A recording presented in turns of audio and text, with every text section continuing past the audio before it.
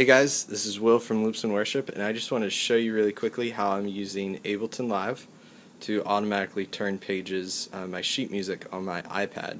Uh, sounds really, really cool, and it is very cool, but it's incredibly simple to do. I'm using an app called Scorecerer on the iPad. Uh, they have a free light version, which I think the limitation is uh, you can only do about I think 15 songs that you can load in there, um, but really easy, really cool to use. You can two finger tap to annotate your score, uh, which is really nice. Two finger tap to get back out of it. Really, really nice uh, app.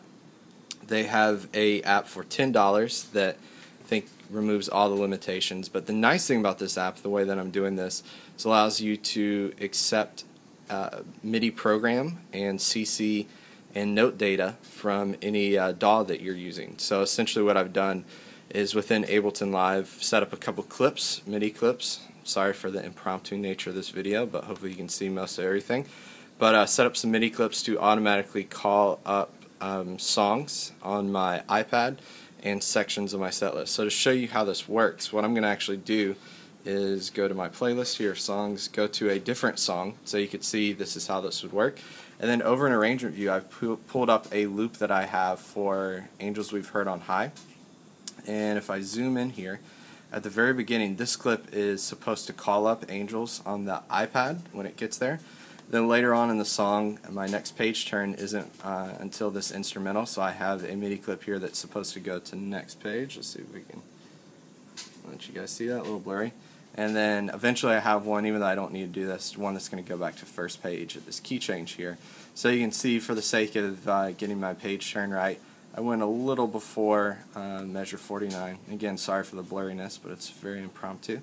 Uh, but let me show you how it works. So I'm going to go ahead and press stop and get us caught up in arrangement view. And then when I press play, you'll hear the click start.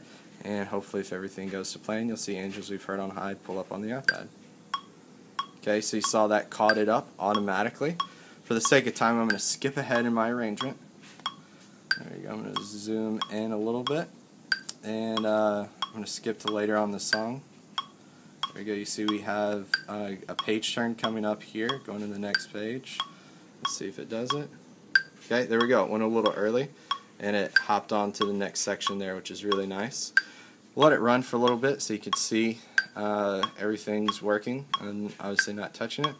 And in a couple measures here, we have our next page turn coming up, which this one actually is supposed to go to our first page, which is a MIDI note. You see it crank back to the first page. There we go.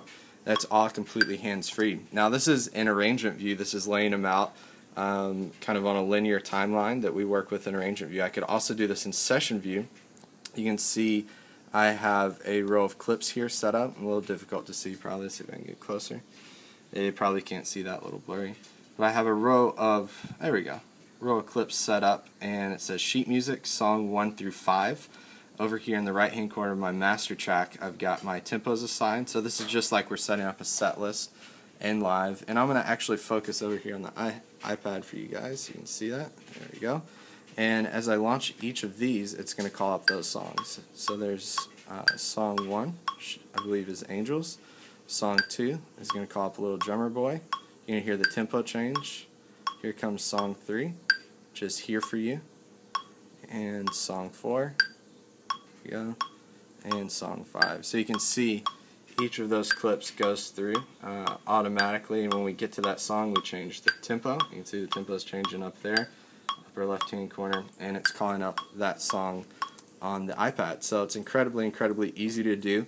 We're basically using um, the built-in, let's see if I can call it up here, built-in uh, network MIDI options on Mac OS X. You can see my iPad, I'm connected to it there. Um, all this consisted of was making sure I'm on the right Wi-Fi network up here. You can see I am Linksys for both the iPad um, and enabling that and then creating some MIDI clips that send out the proper program change data. You can see song clip 1 is set to program 7 to send that control program change. Program 8, 9, 10. So that just corresponds to the location in the set list on Scorecerer. And then as soon as I click that, you'll see it crank right over to our next song, which is really, really nice. Um, so yeah, that is using Ableton Live to control Scorecerer for the iPad. If you have any questions, shoot me an email, will at loopsinworship.com. Check out our blog or website, www.loopsinworship.com for more info. Thanks for checking it out.